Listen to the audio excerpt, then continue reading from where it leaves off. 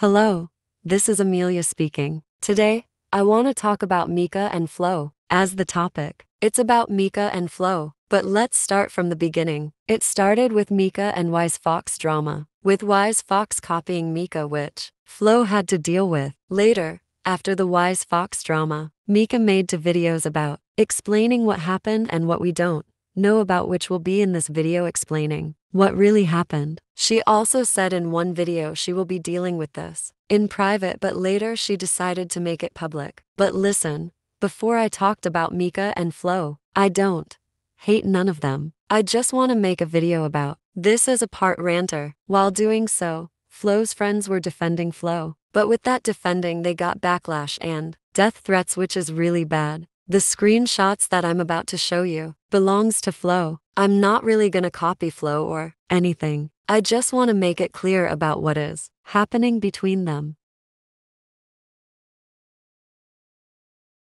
As you can see, Flo said, Mika has deleted all the messages and the post. Mika never have been straight up rude or anything like that, but she needs to accept criticism. But her fans are blinded by her amazing videos and are defending her. So if I said something about Mika and about her video, I can get hate and will get criticized because of that. But let's get one thing straight.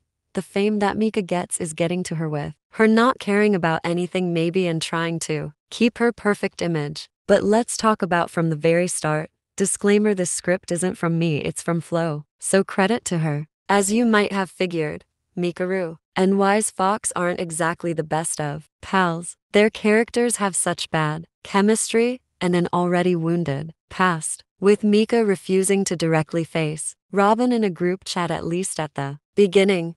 Flo volunteered to be a messenger on two different apps. Mika was on Instagram and Robin was on Discord.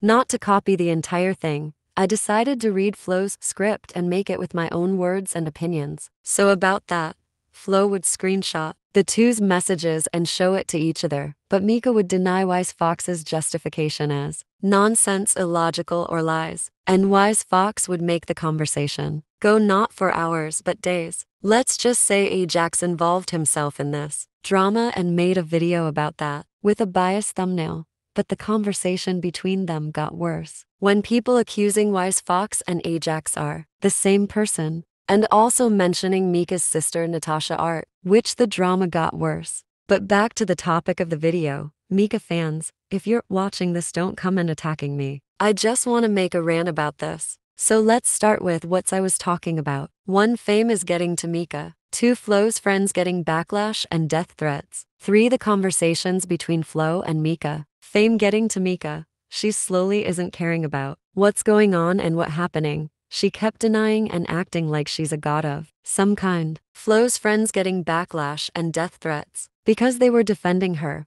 One of the death threats saying that Flo or Flo's friend's mom should die, which has gone too far. Mika and Flo's conversation, the conversation between them shows how Mika is acting. She also said she's called trash, which isn't that bad and acting like it's worse than death threats. And that's all. If I missed or got anything wrong, please tell me in the comments.